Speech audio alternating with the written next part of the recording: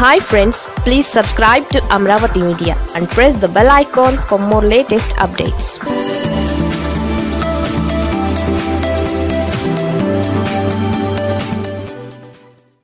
Jagan క్యాబినెట్లో లో కొత్త మంత్రులు వీరే రోజా సహా నలుగురు మహిళలు. ఏపీలో ఏప్రిల్ పదకొండవ తేదీన సీఎం జగన్ తన మంత్రివర్గాన్ని పునర్వ్యవస్థీకరించనున్నారు. ఇందుకోసం భారీ కసరత్తే చేసిన జగన్ తన కొత్త కేబినెట్లో ఉండబోయే మంత్రుల జాబితాను సిద్ధం చేశారు. ఇందులో పలు ఆసక్తికరమైన అంశాలు ఉన్నాయి. ముఖ్యంగా విధేయత సీనియారిటీ పార్టీలో ముందు నుంచి తనకి అండగా ఉన్నవారు ఇలా పలు అంశాలను ఆయన ప్రాతిపదికగా తీసుకున్నట్లు తెలుస్తోంది.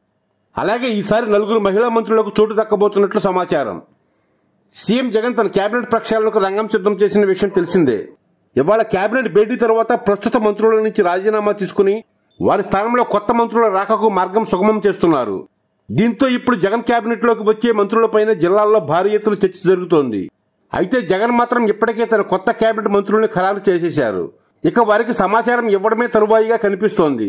అయితే జిల్లాల్లో కొత్తగా మంత్రులయ్యే వారి జాబితాను పార్టీ వర్గాలు మాత్రం సూచాయిగా బయటపెడుతున్నాయి.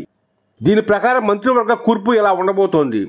ప్రస్తుత కేబినెట్లో ఉన్న ఐదుగురు మంత్రులను కొనసాగించే అవకాశాలు కనిపిస్తున్నాయి.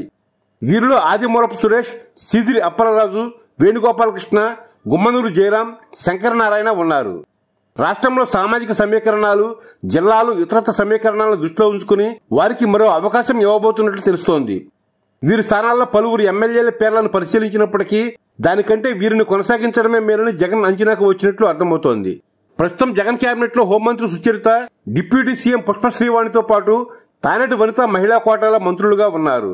వీరి స్థానాల్లో ఈసారి నలుగురు మహిళలకు అవకాశం కల్పించబోతున్నారు. కొత్తగా మంత్రివర్గంలోకి వచ్చే మహిళా మంత్రుల్లో పాడేరు ఎమ్మెల్యే భాగ్యలక్ష్మి చిలకలూరుపేట ఎమ్మెల్యే విడదల రజని నగర MLA RK Roja Singanamala MLA Jonnalagadda Padmavathi ఉన్నారు. వీరిలో డిప్యూటీ సీఎం హోంమంత్రి పదవులు ఎవరు దక్కించుకోబోతున్నారనేది ఆసక్తికరంగా మారింది. శ్రీకాకుళం జిల్లా నుంచి ప్రస్తుత మంత్రి అప్పలరాజు కేబినెట్లో కొనసాగుతుండగా కొత్తగా ధర్మాన ప్రసాద్ రావుకు ఛాన్స్ దక్కబోతోంది. విజయనగరం జిల్లా నుంచి సీనియర్ ఎమ్మెల్యే రాజేంద్ర దొరతో పాటు కొల్లి భాగ్యలక్ష్మికి అవకాశం కల్పించనున్నారు. విశాఖ జిల్లా నుంచి బూడి ముత్యాల నాయుడుతో పాటు గుడివాడ అమర్నాథ్కు ఛాన్స్ ఇస్తున్నారు. తూర్పు గోదావరి జిల్లా నుంచి Tuni MLA Dadisetti Raja P. Gannavaram MLA Kondeti చిట్టుబాబుకు అవకాశం దక్కుతుండగా ప్రస్తుత మంత్రి వేణుగోపాలకృష్ణకు కొనసాగింపు ఉంటుందని సమాచారం. పశ్చిమ గోదావరి జిల్లా నుంచి పవన్ కళ్యాణ్ పై గెలిచిన భీమవరం ఎమ్మెల్యే గ్రంథి శ్రీనివాస్తో పాటు దెందులూరులో చింతమనేనిపై గెలిచిన కమ్మ సామాజిక వర్గ ఎమ్మెల్యే అబ్బాయి చౌదరికి తణుకు ఎమ్మెల్యే కారుమూరు నాగేశ్వరరావుకు ఛాన్స్ దక్కనుంది.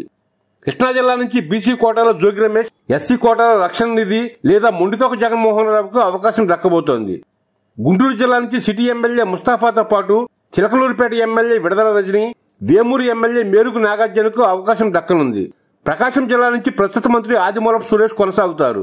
నెల్లూరు జిల్లా నుంచి కాకాని గోవర్ధన రెడ్డితో పాటు సంజీవయ్యకు అవకాశం దక్కబోతోంది.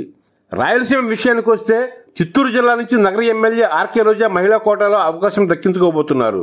అలాగే చిత్తూరు ఎమ్మెల్యే అరణ్య శ్రీనివాస్ కూడా అవకాశం దక్కుతోంది.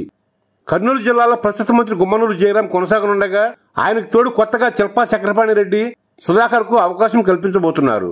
అలాగే అనంతపురం జిల్లా నుంచి ప్రస్తుత మంత్రి శంకరనారాయణ కొనసాగుతుండగా అనంత వెంకటరామిరెడ్డి జొన్నలగడ్డ పద్మావతి మంత్రులయ్యే ఛాన్స్ ఉంది.